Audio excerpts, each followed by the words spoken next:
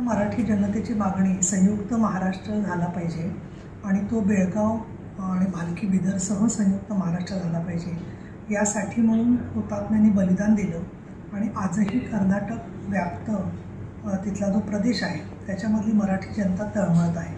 अशा वेळेला जर तिथल्या शाळांमध्ये कानडी शाळांना भाषेचे अनुदान देऊन खरं तर कर्नाटक सरकार सातत्याने खोडसाळपणा करत आहे. महाराष्ट्रामध्ये सुद्धा ज्या भाषांना प्राधान्य दिलं जातं त्याच्यात मराठीच्या बरोबर अनेक भाषांच्या शाळांना अनुदान महाराष्ट्र सरकार देत असतं. परंतु कानडी भाषेचे आम्हीच फक्त पुरस्कर्ते आहोत हे दाखवण्याची एकही संधी कर्नाटक सरकार सोडत नाही. अशा वादग्रस्त बाबतीमध्ये त्यांनी अशा पद्धतीने हस्तक्षेप करणं योग्य नाही याची जाणीव महाराष्ट्र सरकारने सर्वोच्च न्यायालय आणि माननीय राष्ट्रपती महोदयांच्या मार्फत माननीय पंतप्रधानांच्या मार्फत कर्नाटक सरकारला करून दिली पाहिजे असं मला वाटतं.